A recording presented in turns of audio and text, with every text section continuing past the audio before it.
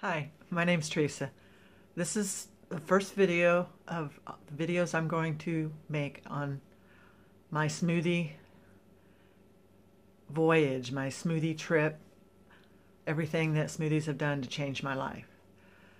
Uh, over two years ago, I was doctor wanted to put me on cholesterol medication, I believe it was, and I wasn't going to go on the medication, so I said no, I just didn't do it, and uh, they kept wanting it, and I said I wasn't comfortable with it. So one of the uh, doctors gave me a list of movies to watch. The one I watched first and the one that changed my life was Fat, Sick, and Nearly Dead by Joe Cross.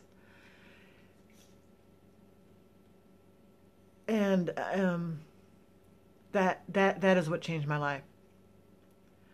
So I look forward to the next video and I'll tell you a little bit more. Bye for now.